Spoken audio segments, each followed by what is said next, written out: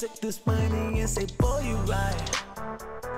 Party, party through the day and night, day and night.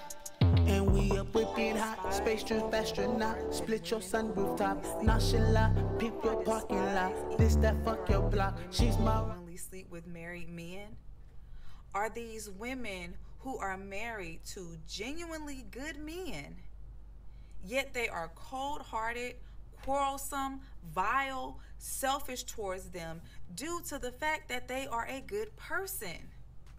you guys have to understand when you marry somebody that is genuinely good, they're good towards everyone, not just their significant others.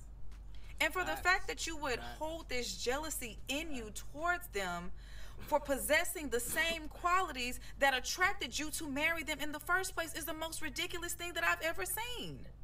You're not happy, boo, just leave and make room for a more quality woman to step in to accept a man like that because it is slim pickings out here, honey. So you get on out there and you will see for yourself what it's really like.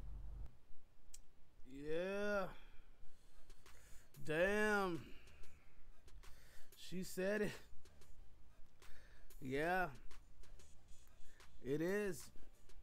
Yeah. Mm-hmm. Yeah. Mm-hmm. As a married man, I agree with what she just said. Uh-huh. Yeah. It's really messed up though. It's really fucked up. It's really fucked up. But dude, mm-hmm. I gotta do a rerun on that one. I gotta go back. I got cause there was a lot of there that I should have said a lot, but I was just too stunned, you know. Guys, even more than women who knowingly sleep with married men. What happened, babe? Are these women who are married to genuinely good men? I am. Yet they are cold-hearted, quarrelsome, vile, selfish towards them due to the fact that they are a good person.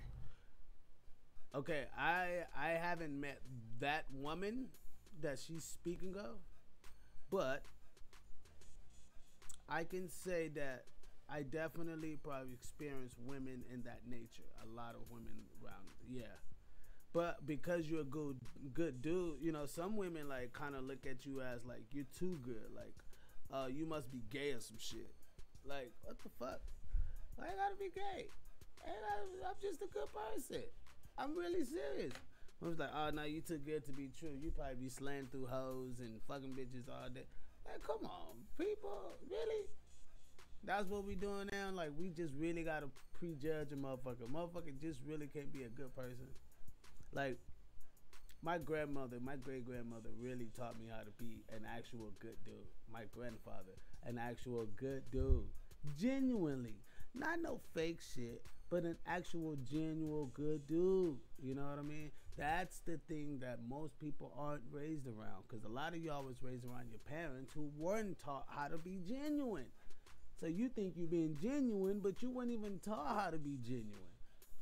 Oh my God, don't even go there with me when you talking about being a good person. Nigga, did you grow up with people that were good people? No, my great grandparents weren't all great when they were growing up. But I caught them at their sweet years, around 60, 70. They already who they are. So yes, I saw the fruits of labor. Yes, I'm an exception to the rule to where I've had and know what it's like to be raised in a great fundamental aura in a sound home that's solid. I understand that. It wasn't all peaches and cream and it wasn't all gold. I stayed in mobile homes with these people we stayed in all type of you know i mean trailers and trailer parks and things like that but all those things taught me how to be a great person a great man really treat women with respect love honor that's what my music talks about my music literally talks about being the guy who is with the bonnie and clyde like joker and harley quinn you know what i mean that's like really like what my music talk about when it comes to that's the vibe that I get from it. You know what I mean? The the timbre I speak on. So she's really facts. You guys have to understand when you marry somebody that is genuinely good, they're good towards everyone, not just their significant others. What I just speak of. It's crazy because that's she's right. Good to everybody. Why? Because you're looking at everything not to come back on you as a foul aura, right? And we can only we can't be good. It's not like we can be good to everyone all the time because there's some people just going to be bad in a way, but um, where we can receive good karma all the time. That's what I was meaning. Like it's not like we can receive good karma all the time because things happen to good people. Bad things happen to good people. Good things happen to bad people. I mean, it's just kind of the way life sways. It's the equilibrium. It's the life of equilibrium. You know what I mean? Those are the things that I feel people may not understand. So we take it deeper, just kind of filtering out life's BS. This is what you're looking at. So th- that's how I see it. You know, that's how it should be seen. But that's how I see it. And for the fact that you would hold this jealousy in you towards them for possessing the same qualities that attracted you to marry them in the first place is the most ridiculous thing that I've ever seen. If you're not happy, boo, just leave and make room for a more quality woman to step in to accept a man like that because it is slim pickings out here, honey. So a lot so that was a mouthful too if you can't really deal with a guy just being a good dude, like if I can't just, if you can't really just deal with me being me, that why would why should I deal with my why should I deal with that shit?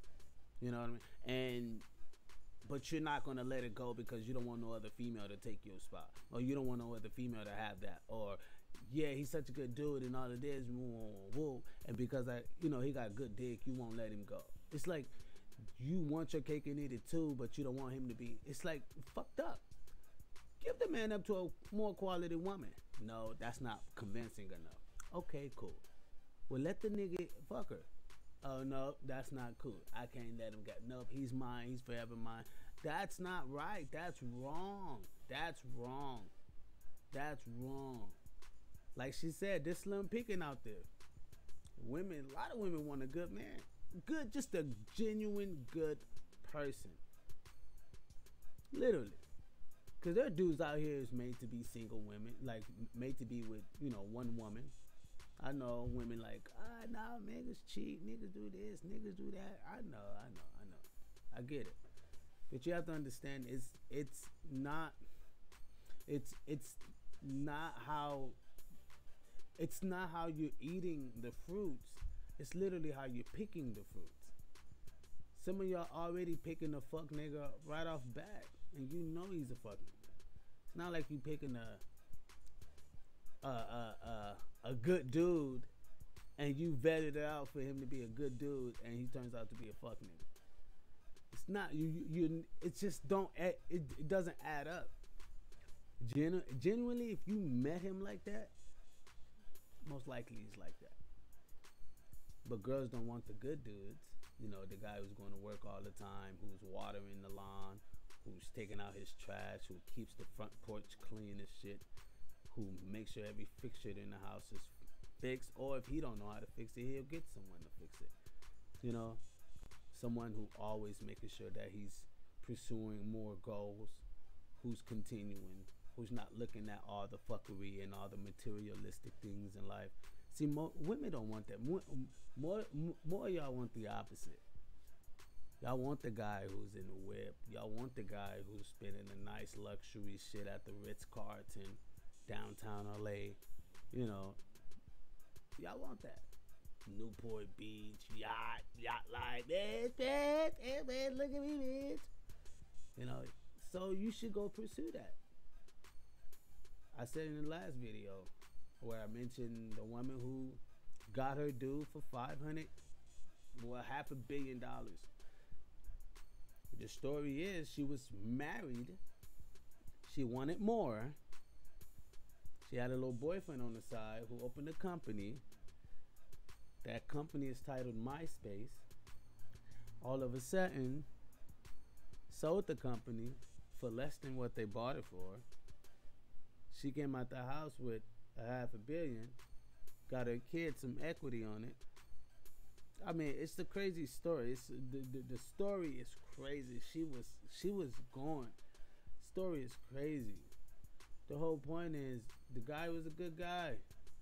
Matter of fact, I think the guy left his wife for her or some shit like that. Anyway, it's just to show you how really gullible men are. You know what I mean? Most men are good dudes, honestly. Literally. But I get it, you know. No, well now a lot of y'all go comment comment below, tell me how bad men are, how bad this is, and da da da da da da. I know, and I'm gonna be responding back to those comments. So y'all go ahead and comment your ass off.